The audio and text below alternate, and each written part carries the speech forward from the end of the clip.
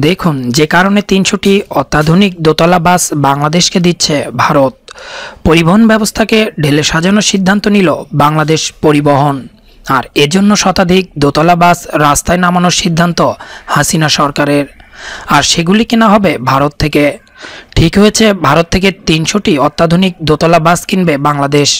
ইতিমধ্যে অশোক লেল্যান্ডের কাছ থেকে তিনশোটি দোতলা বাস কেনার প্রস্তাবে সায় দিয়েছে সরকারি ক্রয় সংক্রান্ত মন্ত্রিসভা কমিটি।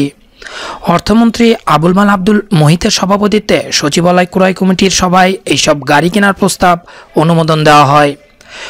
মন্ত্রিপরিষদ বিভাগের অতিরিক্ত সচিব মোস্তাফিজুর রহমান পরে সাংবাদিকদের বলেন, ভারতীয় লাইন অফ ক্রেডিটের আওতায় বিআরটিসির জন্য দ্বিতল, একতলা এসি ও নন এসি বাস সংগ্রহ প্রকল্পের আওতায় দশ শতাংশ যন্ত্রাংশ ও অন্যান্য সংশ্লিষ্ট পরিষেবা সহ তিনশোটি দোতলা বাস ভারতের অশোক লেল্যান্ড সরবরাহ করবে। যার ফলে ব্যয় হবে দুইশো উনচল্লিশ কোটি ছয় লক্ষ টাকা। অন্যদিকে ইতিমধ্যে অশোক লেল্যান্ডের তরফে বাসগুলি বাংলাদেশ সরকারের হাতে দিতে পারার জন্য খুশি। অশোক লেল্যান্ডের কারখানায় যুদ্ধকালীন তৎপরতায় চলছে বাসগুলিকে তৈরি করার কাজ। সংস্থা সূত্রে জানা গিয়েছে, খুব শীঘ্রই বাসগুলিকে হাসিনা সরকারের হাতে তুলে দিতে পারবে।